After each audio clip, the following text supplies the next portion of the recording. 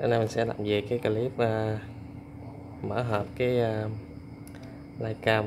Có cái mã là S1S Max thì cái loại này á, là nó là không trổi than nha.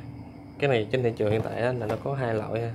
Có một cái loại y chang cái này luôn mà nó là cái động cơ có trổi than các bạn mua các bạn nhìn kỹ những cái hình như mình cái hạn như cái này á, là động cơ không trổi than ha. Cái motor là cái vỏ nó quay ra ngoài nè các bạn chú ý nha Vậy là cái mức giá nó sẽ khác, cái mức giá không chở hàng nó sẽ mắc hơn khoảng ờ, vài trăm ngàn. Còn mức giá của ờ, có chở hàng thì nó sẽ rẻ hơn vài trăm ngàn đấy chứ đó. Và hình thức y chang nha, cái này sẽ có hai mẫu. Nhưng mà của mình là mua mẫu là S1S không chở hàng nha. Đây. Bên ngoài nó sẽ như này, đây là cái hộp thôi nha. Đó hộp này như này. Đó. Thì bên trong nó là như này đây, hãng cho chúng ta một cái túi đựng nè để ờ, mang theo đi đâu đâu mang theo ha, rất là gọn. Việc với mức giá là, ở đây mình mua cho cái shop ở nước ngoài, nhưng mà mức giá là 650k đã áp dụng mà giảm giá ha. Thì chúng ta được ờ, cái hộp như thế này. Thì trong đây thì thì cái ờ, link mua cái này thì mình sẽ để trên phần mô tả luôn ha. Các bạn nào muốn mua thì có thể vô mua. Ở đây là cái link rẻ nhất nha.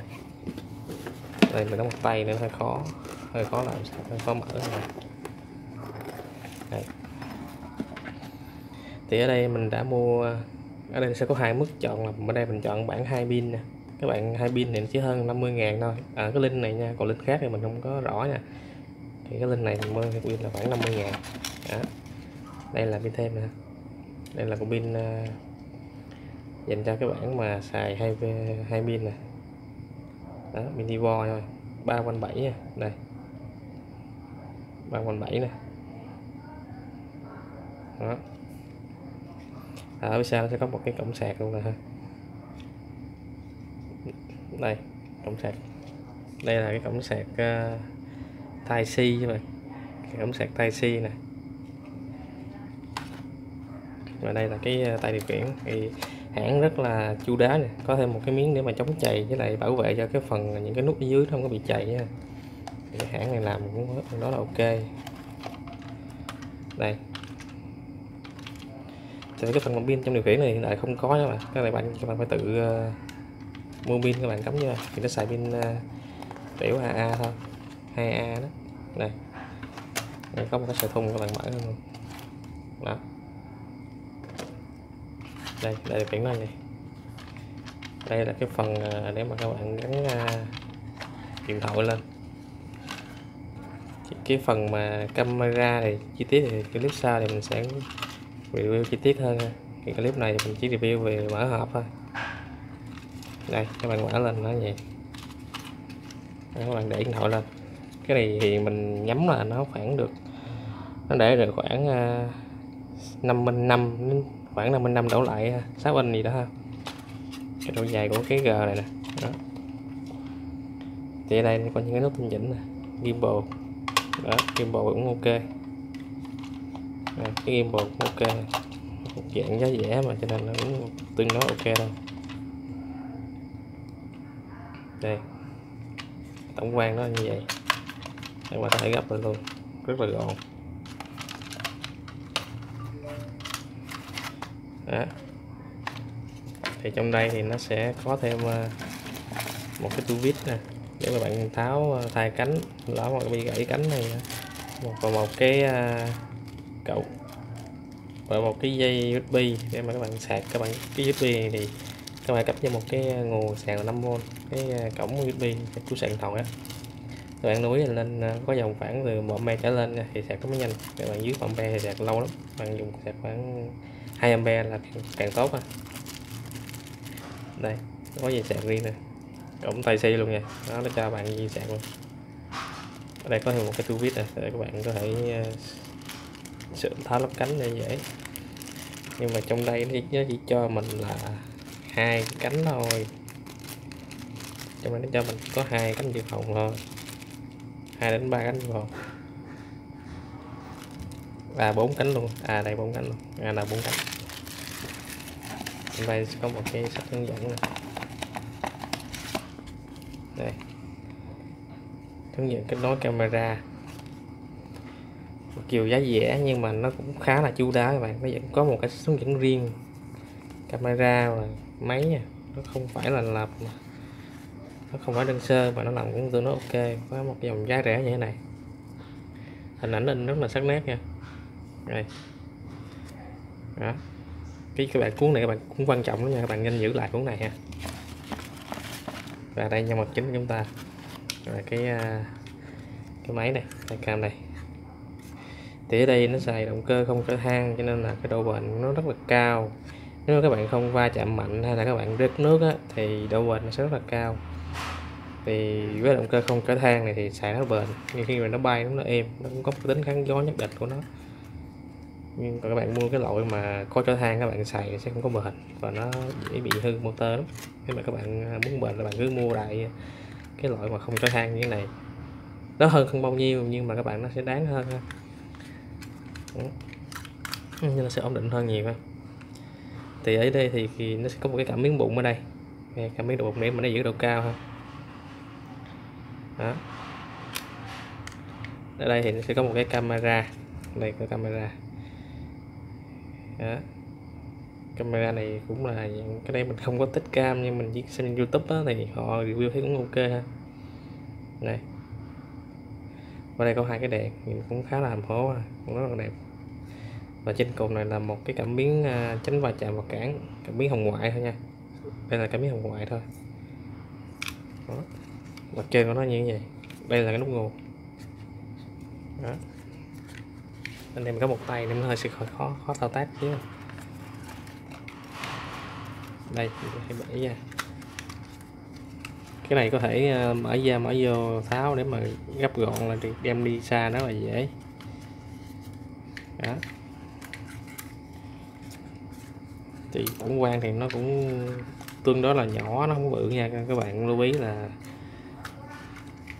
bay cái gió nó cũng vừa vừa thôi, các bạn không nên bay cao quá cái này thì hãng thì nó có ghi là khoảng trăm mét đổ lại thôi.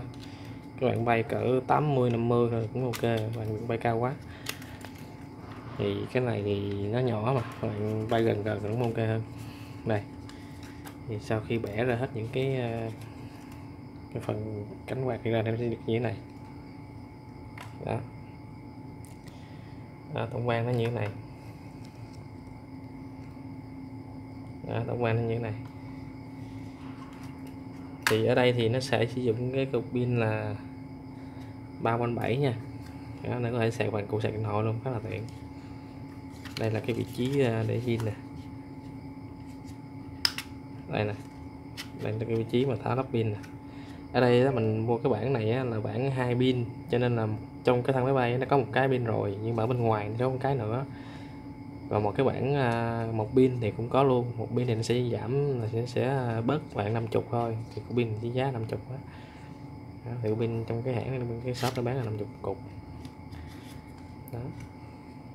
Thì clip này mình sẽ review mở hộp à, vậy thôi. Còn clip sau thì mình sẽ review về camera và review cho bạn xem về nó cái độ ổn định nó bay như thế nào. Và test luôn cái cảm biến và tránh và chạm mình luôn ha. Đó. Đây, cái bề ngoài nó như thế này. Thì cái phần chất liệu nhựa thì khá là ok. Thì với cái phần camera các bạn lưu ý cái phần camera này á, thì mình coi trên youtube á, thì thấy là nó có thể ờ, bẻ lên bẻ xuống khoảng được gần khoảng ờ, thẳng đứng khoảng 90 độ như thế này hoặc bẻ xuống khoảng ờ, xéo xéo khoảng ờ, năm sáu chín mươi độ gì đó. Thì do là mình chỉ coi youtube thôi mình chưa có trải nghiệm nên là mình đã mua về thử trải nghiệm thôi thì ở đây mình có phải có một cái lưu ý là bạn thấy có một cái anten như thế này ha. Các bạn cẩn thận nha, cái này thì nó đứt một cái là nó khá là nguy hiểm nha. Cái này là cái phần anten nó thò ra ngoài nè. Các bạn có thể dùng cái băng dính, các bạn dán hờ hờ vô cũng được. Để tránh nó bị bung ra, nó làm đứt cụm như này, khá là nguy hiểm. Đây đây là cụm như anten các bạn lưu ý nha. Ở dưới đây là cái miếng bụng các bạn tránh à, đất hay là cát bay vào chỗ này. Các bạn tốt nhất là bạn bay trên cỏ hay là còn cỏ khô nha, để sẽ an toàn hơn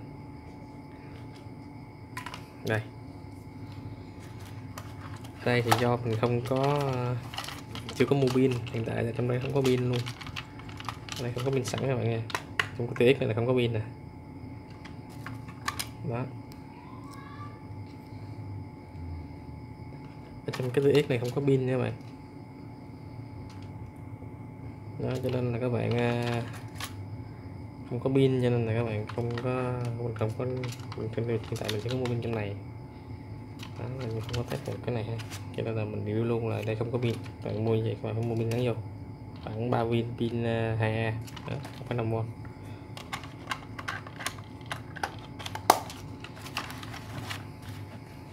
đây còn đây mình có thể sẽ test thử cái nguồn cái này.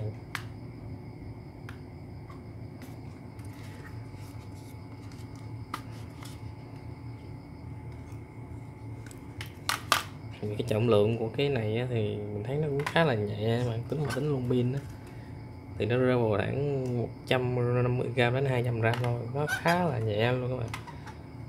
Cho nên là nó sẽ bay kháng gió thì không có được cao.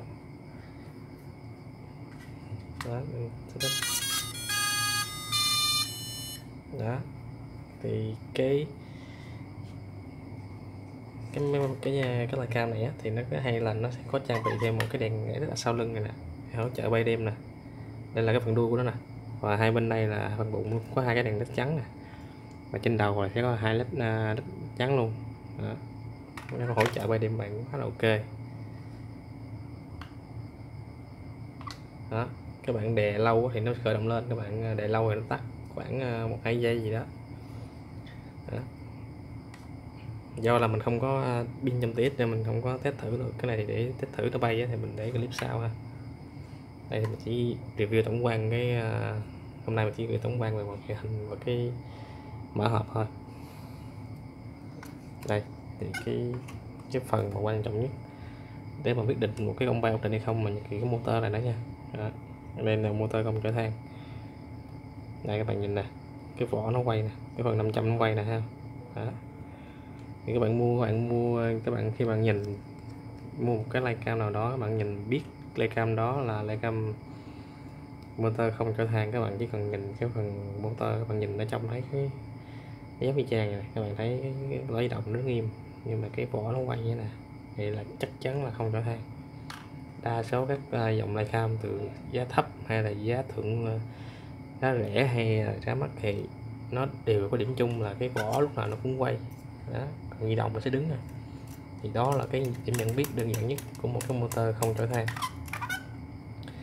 thì cũng có nhiều bạn nói là tại sao mua đại động cơ có trở than xài cho rồi.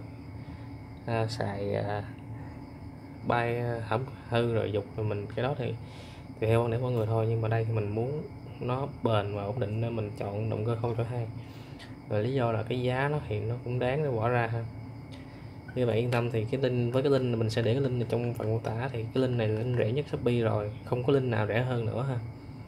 Và ở đây thì mình mua thì mình có áp mày giá vô thì nó chỉ giảm khoảng, của shop chưa cho hình khoảng 50 ngàn thôi không bao nhiêu.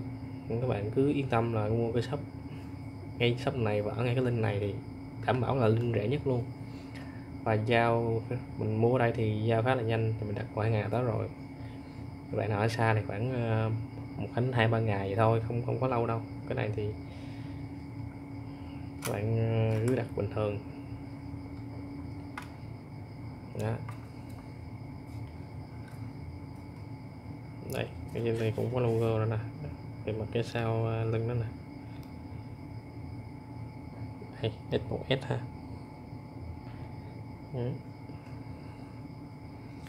Đó, sau đây là cái vị trí pin. Đó còn sau này là cái là cái vị trí pin này đó. Đó, đây. Thì mình coi trên YouTube á thì người ta review á thì cái con cam này á cái tuy là cái giá nó rẻ nhưng mà nó cũng có một cái à, cảm biến bụng để mà giữ độ cao và có thêm cảm biến tránh vật cản nữa. Thì mình cũng có coi trên youtube á, thì họ cũng có hướng dẫn là các bạn phải à, bật tắt thủ công nha, chứ cái này nó không có tự động tránh vật cản theo kiểu là tự động à, tự động được nha nó cũng phải có tự công. Cái mà bấm vào cái nút IR này nè đó, khi mà bạn à, khởi động lên bấm nút IR này à, nó sẽ ngay chỗ IR này nè.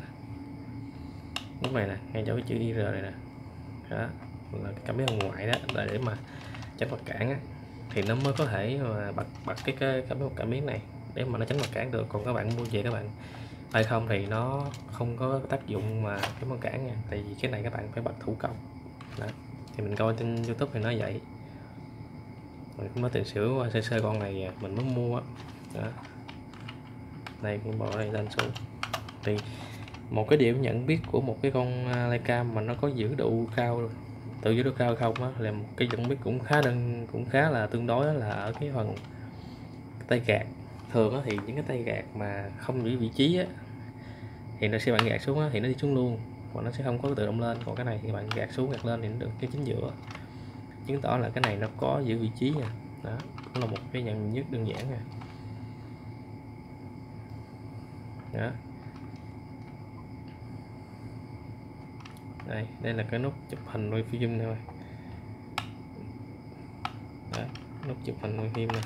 Và đây là cái nút nhào lộn đây là cái nút nhào lộn ha đây là nút nguồn của tiết nè đó. nó cũng khá là ok. Thì cái tiết này nhìn thì nó cũng nó hơi to nhưng do là nó phải chứa pin đi dưới đây nữa nên nó hơi to. Không sao nhưng cầm thì nó cũng chắc tay. Này cái bạn cầm như, như một cái máy chơi game vậy đó. Nhìn nó cũng tương đối là ok. Ừ. Chỉ mà bỏ vô cái hộp này nó rất là gọn các bạn có thể cầm đi xa được rất là ok đó. Đó. tổng quan thì tất cả những cái uh, linh kiện này dưới đây thôi đó. thì bạn nào có thắc mắc gì bạn muốn ờ, thắc mắc gì đó thì các bạn có thể inbox zalo mình sẽ hướng dẫn các bạn mua hay là các bạn có thắc mắc gì đó thì bạn cứ hỏi ha